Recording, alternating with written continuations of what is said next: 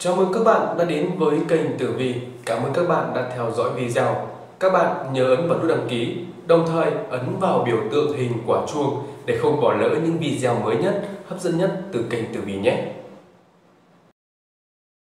Tử vi tuổi Tý tháng 3 âm lịch, vận trình bán cát, bán hung. Kính thưa quý vị và các bạn, những người tuổi Tý khi bước sang tháng 3 âm lịch vận trình có 7 phần cát, Ba phần hung. Nửa tháng đầu, cục mạng được tương sinh nên thuận lợi. Nửa tháng sau, mọi chuyện có phần u uất, khó thịnh vượng. Thế nhưng may mắn với những người tuổi Tý là những người này có quý nhân tam hợp che chở, mang đến những điểm thuận lợi. Vậy thì vận trình chi tiết của những người tuổi Tý trong tháng 3 âm lịch sẽ như thế nào? Ngày hôm nay xin kính mời quý anh chị và các bạn chúng ta cùng kênh Tử Vi đi tìm hiểu trong video dưới đây nhé. Tổng quan về tử vi tháng 3 âm lịch năm 2022 Tháng 3 âm lịch năm 2022 nhâm dần rơi vào khoảng thời gian từ ngày mùng 1 tháng 4 cho đến ngày 30 tháng 4 dương lịch. Thiên can địa chi là tháng giáp thìn với thìn thổ làm trụ ẩn, hai thiên can là nhâm và mậu. Trong đó, nguyệt lệnh làm chủ phân bố thành mộc đầu tháng, năm ngày tiếp theo thuộc mậu khố, cuối tháng do mậu thổ làm chủ. Tháng 3 âm lịch, tháng giáp thìn gặp năm nhâm dần. Với thiên can giáp gặp thiên can nhâm của năm nhâm dần chủ với bình hòa. Địa chi thìn của tháng gặp địa chi dần của năm cũng là bình hòa. Về ngũ hành của tháng thì giáp thìn ngũ hành là phúc đạo hòa, tượng là lửa ngọn đèn, gặp năm 2022 nhâm dần là kim bạch kim là vàng lá trắng với ngũ hành thì có sự tử khắc, thế nhưng theo lục thập hòa giáp thì ngũ hành này lại có sự tương trợ cho nhau với ngụ ý rằng trong khắc có hợp, trong hợp lại có khắc. sẽ chủ về một tháng 3 bán cát, bán hung. Tử vi tuổi Tý trong tháng 3 âm lịch về cơ bản thì tháng 3 âm lịch của những người tuổi Tý vận trình bán cát, bán hung. Thế nhưng may mắn vẫn chiếm phần nhiều chỉ cần những người tuổi Tý chịu khó, chăm chỉ, tập trung làm việc thì ắt gặt hái được thành quả xứng đáng với những công sức mà mình đã bỏ ra. Trên phương diện sự nghiệp, do có tam hợp giúp đỡ nên mọi kế hoạch đều tiến triển đều đặn đúng như dự kiến của những người này. Quan hệ xã giao hài hòa giúp tuổi Tý luôn được mọi người xung quanh giúp đỡ nếu gặp phải những khó khăn vất vả. Thậm chí trong tháng này, Tuổi Tý còn có cơ hội gặp được quý nhân, được giới thiệu cho những cơ hội đáng quý. Điều quan trọng là tuổi Tý cần phải tập trung vào nhiệm vụ, chớ được làm việc theo cảm hứng nhất thời do chịu ảnh hưởng của mộc dục. Trên phương diện tài lộc thì tài lộc vẫn chảy về túi của bạn khá đều đặn. Đây là thời điểm thích hợp để bạn mở rộng các mối hợp tác làm ăn của mình. Chắc hẳn bạn sẽ tìm ra được những đối tác hoặc những khách hàng triển vọng đem lại nguồn tiền dư giả cho hiện tại và cho cả tương lai. Tháng 3 âm lịch, tuổi Tý việc ký kết hợp đồng cũng có thể xem xét tiến hành vào khoảng thời gian này. Cốt là những người này cần phải chú ý tỉ mỉ kiểm tra các điều khoản trong hợp đồng để không xảy ra những sai sót do sơ ý. Đáng tiếc về một chuyện tình cảm thì chưa có những dấu hiệu tích cực Tuy dưới tác động của nguyệt lệnh, mộc dục thì người độc thân đã biết quan tâm hơn tới ngoại hình của mình, được nhiều người quan tâm hơn, song trở nên quyết định đến với một ai đó quá vội vàng khi mà chưa thực sự hiểu rõ về đối phương. Xét về phương diện sự nghiệp của những người tuổi Tý trong tháng 3 âm lịch.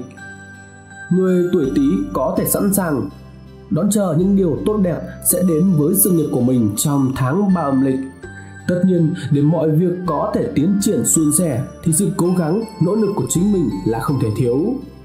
Dưới tác động tích cực của cục diện tam hợp, người tuổi Tý dễ dàng xây dựng được mối quan hệ xã giao tốt đẹp. Mọi người xung quanh đều sẵn sàng giúp đỡ bạn, chỉ cho bạn một hướng đi, giúp cho bạn khắc phục được những khó khăn còn tồn tại trước đó.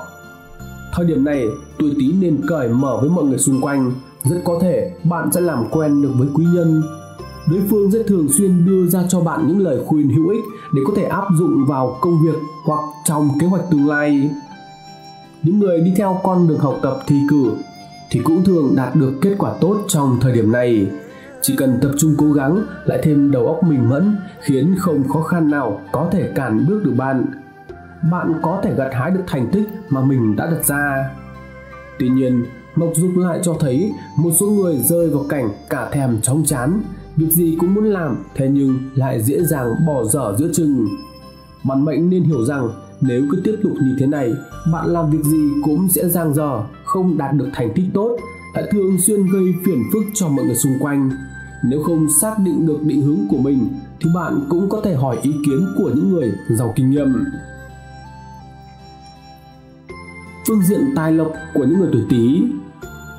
Trong tháng 3 âm lịch, phương diện tài lộc của những người tuổi Tý có bước tiến triển khả quan trong thời điểm này. Với đầu óc nhanh nhạy, cách nhìn nhận vấn đề chính xác, tuổi Tý thường lập ra được những kế hoạch khả thi, có thể lập tức bắt tay vào thực hiện. Dưới tác động của tam hợp, các mối quan hệ của bản mệnh với khách hàng, với đối tác tiến triển rất tốt, bạn nhận được các đơn hàng hoặc các hợp đồng một cách thường xuyên đều đặn.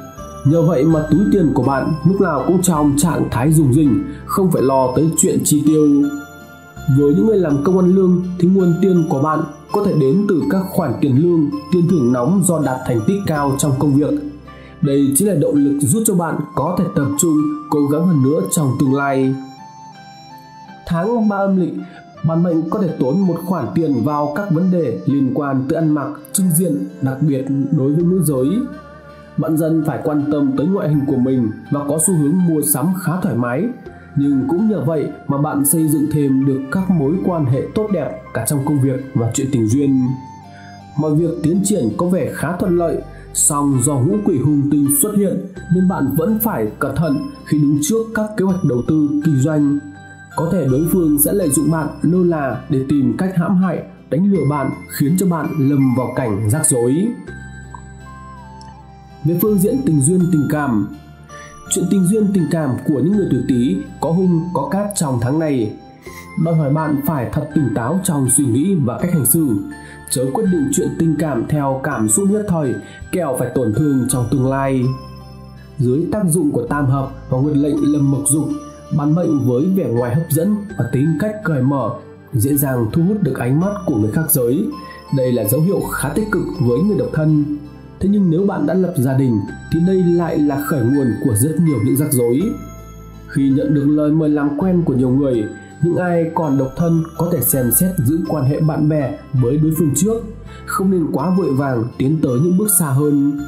Hãy tiếp tục trò chuyện với đối phương trước đến khi cả hai người hiểu rõ hơn về nhau rồi mới đưa ra quyết định cũng không quá muộn còn với người lập gia đình, cần phải giữ khoảng cách thích hợp với người khác để tránh những điều tiếng không hay xảy ra. Những lời bàn ra tán vào, dù có phải là thật hay không, cũng gây ảnh hưởng tới danh dự, hạnh phúc của gia đình bạn. Tốt nhất làm việc gì thì cũng nên suy nghĩ cho người thân, tránh buông thả cảm xúc nhất thời. Vợ chồng cũng nên tôn trọng, thấu hiểu cho nhau, đừng quá đề cao cái tôi cá nhân của mình mỗi khi có vấn đề xảy ra thì hai người hãy bình tĩnh trao đổi thì mọi chuyện mới có thể giải quyết ổn thỏa nhanh chóng.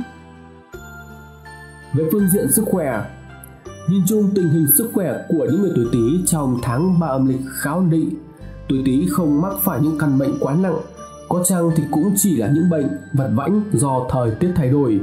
Lại thêm khoảng thời gian này, bạn đã chú ý giữ gìn sức khỏe, chăm chỉ rèn luyện thể dục thể thao hơn, nên cơ thể có dấu hiệu khỏe lên trông thấy.